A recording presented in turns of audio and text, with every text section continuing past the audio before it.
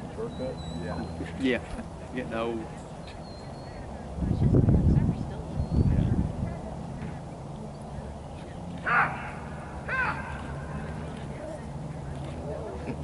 Oh, did I not see Ken get a little bit off balance there?